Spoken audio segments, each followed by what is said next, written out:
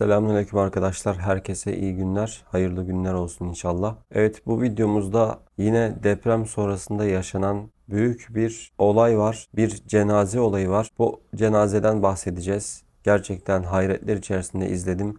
Sizler de izlerken çok ama çok etkileneceksiniz. Konuya geçmeden önce hemen videoyu beğenin ki daha fazla kardeşimize de ulaşsın YouTube'da. Çünkü önemli. Bunu herkesin izlemesini isterim. Şimdi arkadaşlar Suriyeli bir abimiz hayatını Peygamber Efendimizin şefaatini ve sevgisini kazanmaya adamış. Yani Peygamber Efendimiz'e şiirler yazmış, naat-ı şerifler yazmış sürekli olarak. Bütün hayatını bununla meşgul etmiş ve Hatay'da depremde enkaz altında kalarak şehit oluyor arkadaşlar.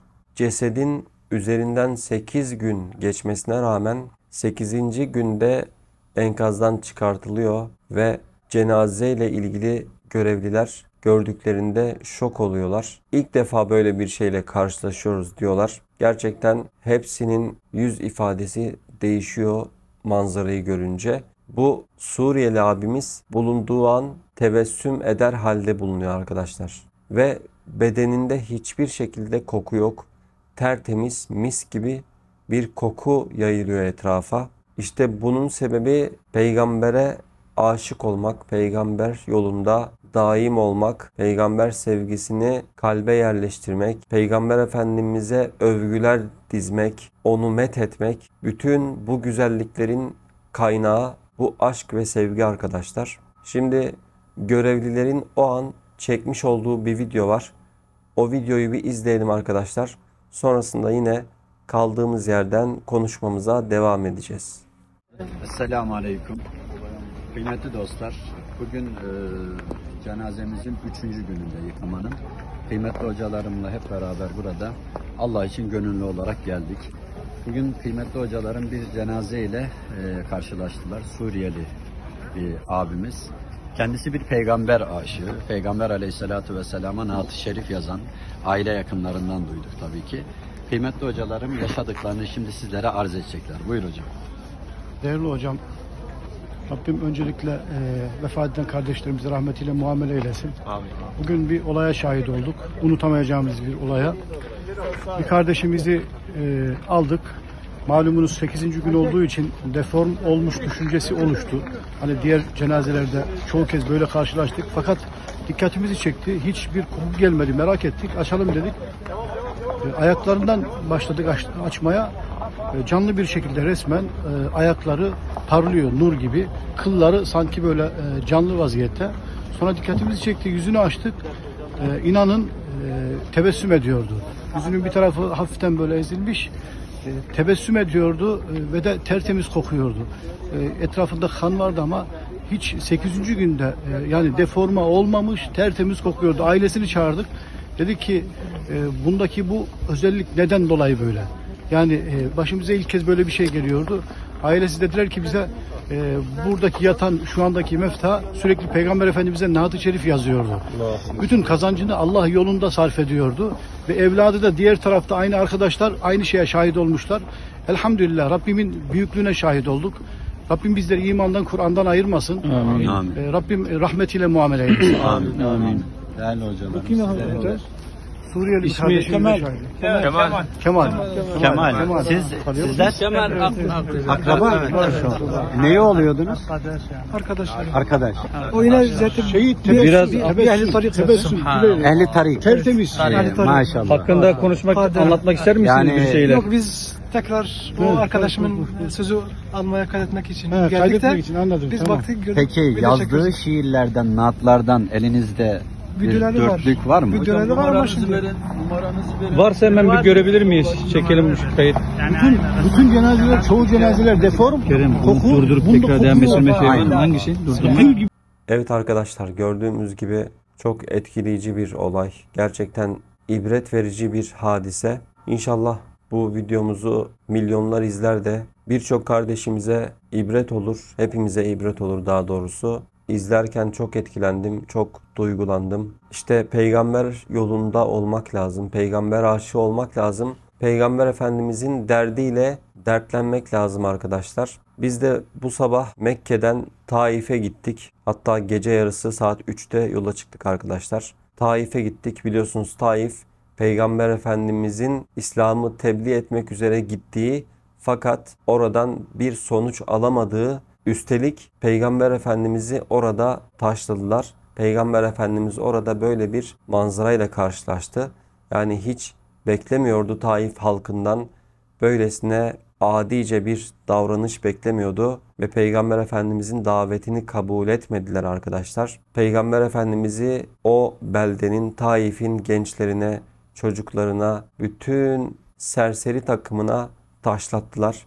Peygamber Efendimizin ayakları kan oldu, dizleri kan oldu, yere yıkıldı, tekrar kaldırdılar, tekrar taşladılar. Sonrasında Peygamber Efendimiz kan revan içerisinde oradan kurtulmaya çalışırken bir üzüm bağına sığındı. Üzüm bağına sığınınca o üzüm bağındaki insanlar Peygamber Efendimiz'e kucak açtılar ve o üzüm bağının hizmetçisi olan bir köle Peygamber Efendimiz'e üzüm getirdi. Peygamber Efendimiz üzümü yemeden önce Bismillah dedi ve o köle Bismillah kelimesini duyunca bu ne güzel bir kelamdır dedi. Sonra Peygamber Efendimizin kim olduğunu merak etti. Sen kimsin dedi. Peygamber Efendimiz ben son peygamber Hazreti Muhammed'im dedi. Sonrasında Peygamber Efendimiz o köleye sen hangi dine mensupsun dedi. O da Hristiyan olduğunu söyledi. Peygamber Efendimiz bunun üzerine ne güzel sen Yunus peygamberin soyundan gelenlerdensin demek ki dedi. Bunu sen nereden biliyorsun dedi. Yunus peygamberi sen nereden bilebilirsin dedi. Sonra kendi kendine düşündü ve dedi ki bunu ancak bir peygamber bilebilir dedi.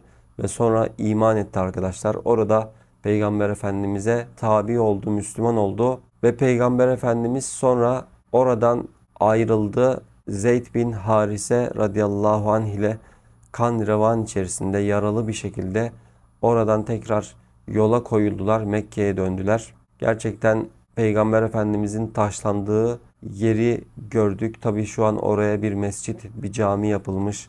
Yine Peygamber Efendimizin sığındığı üzüm bağını gördük arkadaşlar. Hala bağ bahçe olarak orada duruyor. İçerisine kimseyi almıyorlar. Sadece böyle dışarıdan avlusundan görebiliyoruz içeriği. İçinde hurma ağaçları da var. Üzüm bağı olup olmadığını henüz bilmiyoruz arkadaşlar. Gerçekten orada çok etkilendik, çok duygulandık. Hatta üzüldük.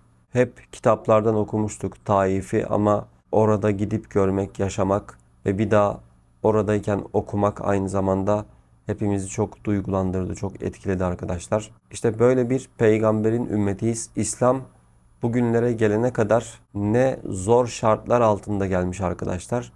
Peygamber Efendimiz İslam'ı yüceltmek için ne mücadele vermiş, bugünlere gelmesi kolay olmamış yani. Dinimizin, İslam'ın kıymetini bilelim. Rabbim cümlemizi bu yolda sabit kılsın inşallah. Bu videoda da izlemiş olduğumuz gibi kardeşimiz ya da abimiz Peygamber Efendimiz yolunda bir hayat ortaya koymuş. Peygamber Efendimiz için sürekli övgüler, şiirler yazmış. Yani kalbi Peygamber Efendimizin aşkıyla hemhal olmuş daima ve sonuç ortada. Öldüğünde bakın nasıl güzellikler yaşatıyor Allahü Teala. Kim Peygamber Efendimiz yolunda zerrece mücadele gösterirse İnşallah onun mükafatını arkadaşlar öldüğünde de, kabirde de, ahirette de görecektir. Peygamber Efendimizin şefaati cümlemizin üzerine olsun inşallah.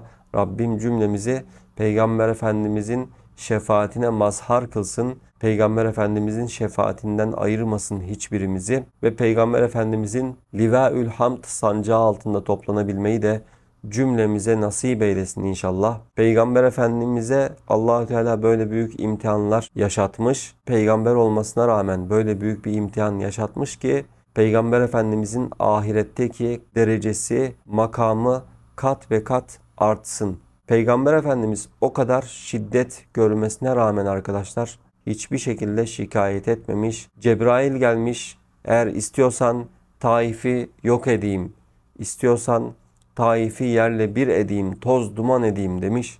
Peygamber Efendimiz hayır demiş. Ben demiş rahmet peygamberiyim. Umulur ki bunların içinden, bunların soyundan İslam'ı yüceltecek nesiller çıkar. Sakın ola ki böyle bir şey yapmayalım. Ben gönlüm bundan yana değil diyerek Cebrail aleyhisselama böyle hitap etmiş Efendimiz arkadaşlar.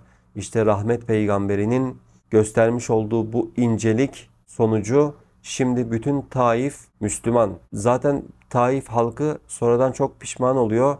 Peygamberimize geliyorlar Müslüman olmaya. Bölük bölük Müslüman oluyorlar arkadaşlar. Evet o Taif'e gittik gördük. Rabbim sizlere de buralara gelmeyi, görmeyi nasip etsin. E, Mekke ile Taif arası 120 kilometre bayağı bir yol var. Bir de rakım olarak çok yüksek arkadaşlar. 1900 metre yükseklikte bir şehir düşünün. Bayağı yüksekte yani. Hatta Mekke'de hava oldukça sıcak. Geceleri de gayet ılık. Yani hiçbir şekilde üşümüyor insan. Ama gece saat 3'te yola çıktık. Taif'e gittik. Orada arkadaşlar bir indik otobüsten donuyoruz. Hava o kadar sert ve soğuk ki zaten e, geçtiğimiz Aralık ayında, Ocak ayında da e, bayağı bir kar yağmış oralara. Çünkü rakım çok yüksek. Kar yağması da çok çok normal. Öyle bir mevki Taif. Taif nasıl ki şartları zorsa insanları da gerçekten çok zormuş ki Peygamber Efendimizin e, tebliğini, davetini kabul etmemişler. Peygamber Efendimiz gittiğinde. Tabi sonradan çok büyük pişmanlık yaşıyorlar. Peygamber Efendimiz'e geliyorlar. Müslüman oluyorlar. Müslüman olmayan hiç kimse kalmıyor Taif'te. Peygamber Efendimizin dediği gibi bunların soyundan, bunların çocukları belki diyor daha sonra iman ederler. O yüzden helak etme Allah'ım diyor. Ve Peygamber Efendimiz böylece rahmet peygamberi olduğunu göstermiş oluyor arkadaşlar. Evet söyleyeceklerim bu kadar. Peygamber yolunda olmaya çalışalım. Dünya boş, malımız, mülkümüz sınırsız, sonsuz olsa ne olacak? Hiçbir şey. Depremde gördük arkadaşlar. İnsanlar o kadar çaresiz ki yani mal da yalan, mülk de yalan. Gel biraz da sen oyalan diyor ya şair. Gerçekten de öyle. Tablo, durum bundan ibaret. Tek gerçek peygamber yolunda olmak, Allah yolunda olmaya çalışmak, bol bol tövbe ve istiğfar etmek, beş vakit namazımızı kılmak, bütün yasaklardan kaçınmak, allah Teala'nın haram kıldığı, çirkin gördüğü her şeyden sakınmak, kaçınmak arkadaşlar. Tek gerçek bu. Rabbim cümlemizi kendi yolunda sabit tutsun, sabit kılsın ve cümlemizi hidayete erdirsin daima. Hidayette olalım inşallah. Sapkınlıktan cümlemizi uzak eylesin inşallah. Amin velhamdülillahi rabbil alemin. El Fatiha.